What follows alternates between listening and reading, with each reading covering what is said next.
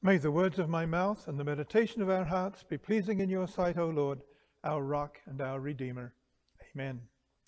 Our text today is the second reading from 1 Peter chapter 3. Read again verses 15 through 18. But in your hearts revere Christ as Lord. Always be prepared to give an answer to everyone who asks you, to give the reason for the hope that you have. But do this with gentleness and respect, keeping a clear conscience so that those who speak maliciously against your good behavior in Christ may be ashamed of their slander. For it is better, if it is God's will, to suffer for doing good than for doing evil. For Christ also suffered once for sins, the righteous for the unrighteous, to bring you to God. He was put to death in the body, but made alive in the spirit. My dear family in Christ, it can be really frustrating when someone doesn't finish a job they're supposed to do. When a painter doesn't, doesn't finish painting your house. When an electrician doesn't finish wiring your home. When a mechanic doesn't finish fixing your car.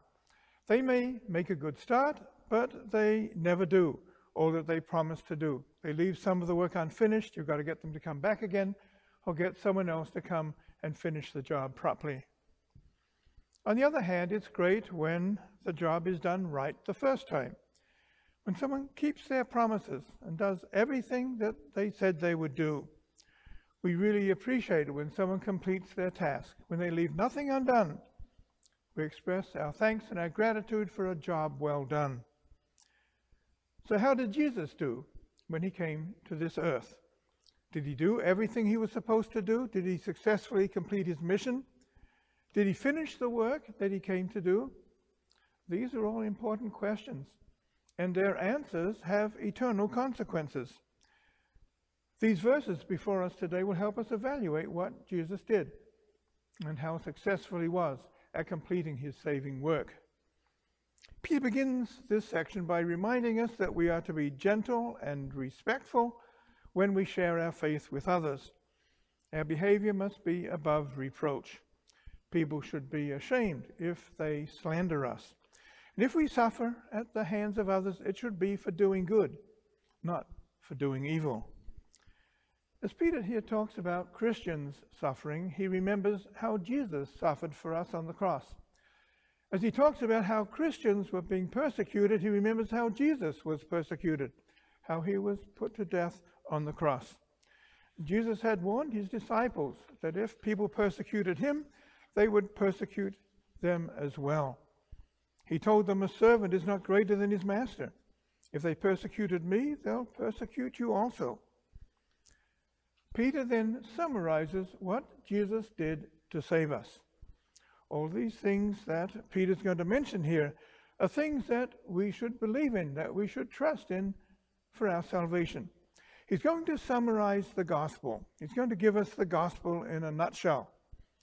And so he says, For Christ also suffered once for sins, the righteous for the unrighteous, to bring you to God. Peter here talks about Jesus suffering. It wasn't easy for Jesus to save us from our sins. It cost him his life. He had to suffer and die for us. And his suffering was both physical and spiritual. As if the physical suffering of being crucified wasn't bad enough, he also had to endure the pain and agony of hell for us. There on the cross, he was forsaken by God, as our sins that were placed on him separated him from his heavenly Father. And there on the cross, Jesus did everything that was necessary to save us. One of the last things Jesus said from the cross was, It is finished. He meant that his saving work was complete, that he had done everything he was supposed to do. He was like a painter who finishes painting your house, like a mechanic who finishes fixing your car, like an electrician who finishes wiring your home. Jesus didn't leave anything undone. He finished the job. And Peter makes a point here that Jesus suffered and died once for us. He did it right the first time. Didn't have to repeat it. Didn't have to keep doing it over and over again as the writer to the Hebrews tells us about Jesus, unlike the other high priests, He does not need to offer sacrifices day after day, first for his own sins and then for the sins of the people. He sacrificed for their sins once for all when he offered himself. As the holy, perfect sacrifice for sin once was enough. So Jesus did everything to pay for the sins of the world. Peter says, For Christ also suffered once for sins. By his suffering and death, Jesus dealt with all the sins of all people of all time. By his suffering and death, he dealt with your sins and my sins. The holy, perfect Son of God suffered and died for sinners like us. And so Peter says, Christ also suffered once for sins, the righteous for the unrighteous, to bring you to God. As our substitute, Jesus took our place. He took upon himself all the punishment of our sins that we deserved. Jesus successfully completed his saving work to reconcile us to God. So Peter continues He was put to death in the body, but made alive in the spirit.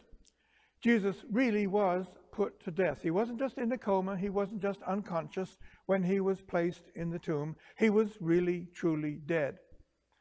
But then he really, truly came to life again. On Easter morning, he rose victorious from the grave. His resurrection was God's stamp of approval on all of Jesus' saving work. He had successfully completed all that he had to do to save the world from sin. And what was the first thing that Jesus did then after coming alive again? The first thing he did was to descend to hell, to proclaim his victory over Satan and the forces of evil.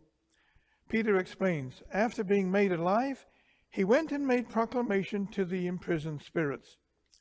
Early Easter morning, before he showed himself alive to the women and to the disciples, he went to hell, not to suffer, but to proclaim his victory, to announce that his saving work was complete, that he'd saved the world from sin, death, and the devil's power.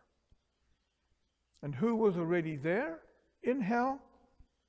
Peter specifically mentions the unbelievers from the time of Noah.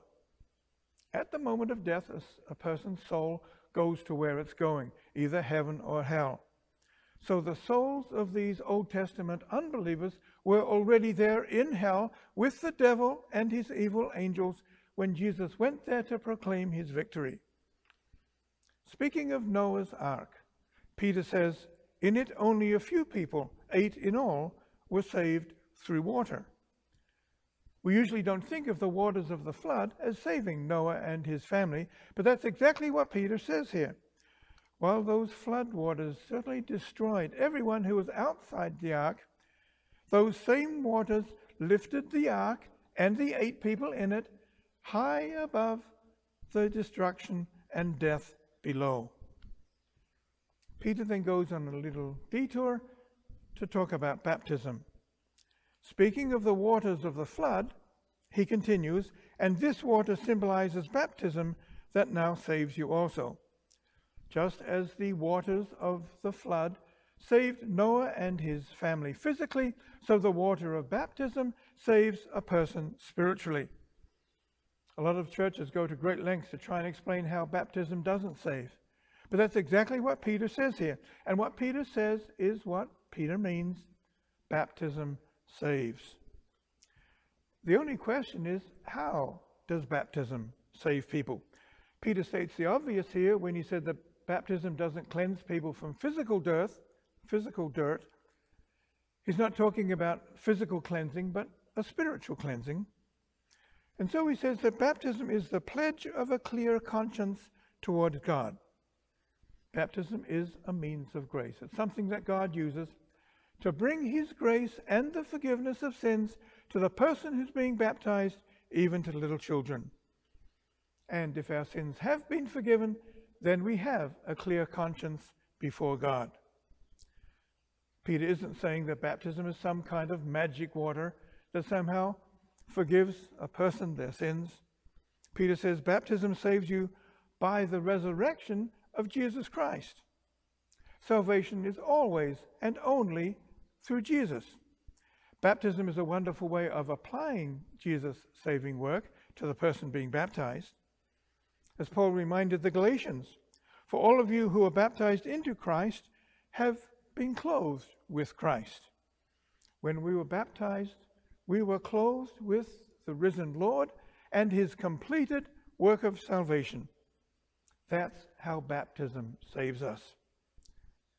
To finish his argument that Jesus has had completed everything he came to do, Peter says that Jesus has gone into heaven and is at God's right hand with angels, authorities, and powers in submission to him.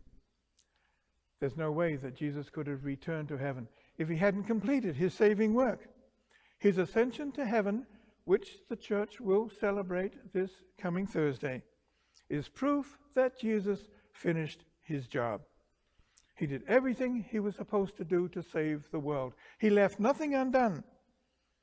And so he did all that he had to do to save the world from sin. And then he returned home, went back to heaven. Now he's in heaven, ruling and reigning over all things for the good of the church and its people. These verses that Peter gives us here are a wonderful summary of the gospel, the good news of salvation through Jesus. He's listed some of the most important things that we need to believe, that we need to trust in to be saved. Everything from how Jesus suffered and died on the cross to how he is now reigning in heaven for the good of all believers.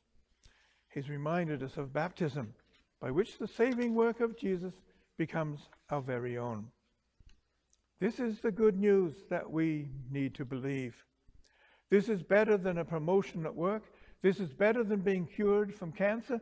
This is better than the coronavirus coming to an end. This is the good news of Jesus that we must believe to be saved. Peter sums it all up in the opening sentence to this section when he says, In your hearts revere Christ as Lord. This then is the good news that we are to share with others. So many people here in our neighborhood and around the world do not revere Christ as Lord. They don't believe all these things about Jesus that Peter has reminded us of here. They don't believe in Jesus and his suffering and death. They don't believe in his rising from the dead and his ascension back to heaven. You and I have the best news ever. We know these things about Jesus that Peter has reminded us of. We know how Jesus suffered and died once for our sins. We know how he successfully completed all his saving work. We know the things that people here and around the world need to believe in order to be saved. So let's not keep the good news of Jesus to ourselves. Let's share the good news of Jesus with everyone we can. Peter says, always be prepared to give an answer to everyone who asks you, to give the reason for the hope that you have. Peter says, be prepared to share your faith. Be prepared to share the good news of Jesus. Be ready. Think through what you might say to someone. Remember the main points of our faith that Peter has here reminded us of. Think of the things that Peter has listed. Use them as an outline to what you may say as you share your faith with another person. Especially if another person asks you about your faith, be ready to tell them what you believe. Especially if someone asks you, What is this hope that you have of going to heaven? Be ready to tell them. Peter encourages us always be prepared to give an answer to everyone who asks you to give the reason for the hope you have. So many people hope to get to heaven by themselves, by their own goodness. Be ready to tell people the real reason we have the hope of getting to heaven through Jesus and what he suffered once for us on the cross. But Peter here cautions us about how we should do this. He cautions us against just charging ahead and talking about our faith without thinking about how our words might sound to another person. Peter advises do this with gentleness and respect, with a clear conscience. We must be careful that we're not more concerned about getting through our presentation than we are about the other person and where they're at. Peter here encourages us to witness gently. There's no point in raising our voices, at shouting at the other person. Talk gently. Peter encourages us to treat other people with respect. Don't belittle them, don't make them feel foolish. Peter urges us to keep a clear conscience as we share our faith with others. Don't say or do anything that you may later regret, that you may later feel guilty about. Do everything in a God pleasing way. Make sure that you share how Jesus did everything necessary to save us. Emphasize how Jesus suffered and died for us once, the righteous for the unrighteous. Explain how he got it right the first time, how he had to do it only once. Believe this for yourself and then share it with others. Amen. Grow in the grace and knowledge of our Lord and Savior Jesus Christ. To him be the glory, now and forever. Amen. We pray, Lord of heaven and earth, we pray that the, the coronavirus pandemic will soon be over. May the day come soon and we can gather again in your house and worship you together with our fellow believers. According to your gracious will, slow the number of new cases and allow those who are sick to recover. Protect us and our loved ones and bring us safely through this trying time. Lord of the Church, we also thank you that you've blessed us with the assignment of a graduate from Martin Luther College, our own member, Ariana Sanchez, to teach grade 7 in our school. Bless her work among us as she brings your word to the children in her class. In Jesus' name we ask it. Amen. Our Father in heaven, hallowed be your name. Your kingdom come, your will be done on earth as in heaven. Give us today our daily bread. Forgive us our sins as we forgive those who sin against us. Lead us not into temptation, but deliver us from evil. For the kingdom, the power, and the glory are yours, now and forever. Amen. The Lord bless you and keep you. The Lord make his face shine on you and be gracious to you. The Lord look on you with favor and give you peace. Amen. Just a reminder that I have English group uh, communions of uh, nine people or less on Mondays at 10 a.m. and Wednesdays at 6 p.m. Let me know if you'd like to participate in that. May God go with you, keep you safe.